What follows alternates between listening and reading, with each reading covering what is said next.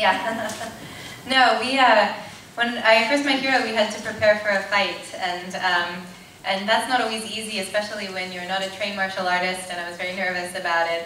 And uh, I was very lucky because Hiroki was so prepared, and he um, he made sure that uh, the choreography was um, was great and was uh, something that I was able to do as well, and um, was just so prepared. It just made my job so much easier and everyone's job so much easier. So uh, that's kind of how we started our working relationship, and um, it's always been like that, just very easy. And uh, uh, we both just love the work, I think, and um, you really enjoy doing these scenes together, and, and hopefully that shows on screen. It's, it's a lot of fun. It's, a, it's very much a uh, teacher-student relationship that we have um, on screen and off, really, because he had to help me with my Japanese, he had to help me with the martial arts, he was um, he was just so helpful, and I was very grateful. To, you know, it's not always like that. You never know who's going to who you're going to be working opposite. So it's very nice when um, when it's someone great like here.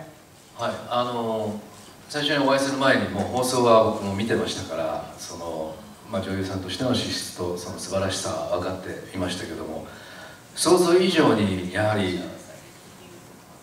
役を作っていくことに対する情熱ですとか自分の役に責任を持つというえー、力強さそれを感じましたね。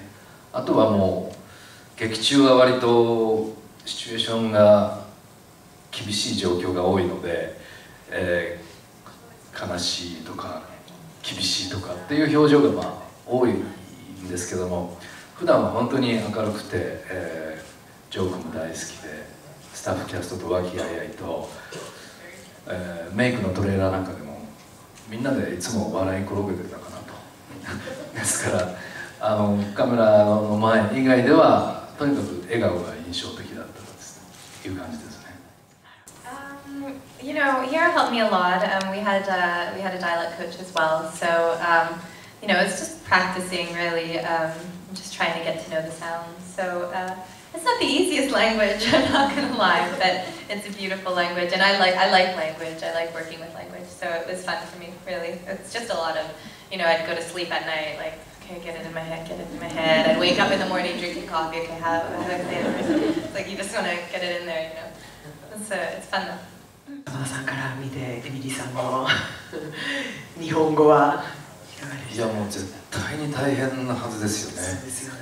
でも本当に少しでもギリギリまでうまくやりたいという意志がすごく強かったのでそしてまた言ったことはもうすぐに覚えるし、え非常に優秀な生徒さんでしたね。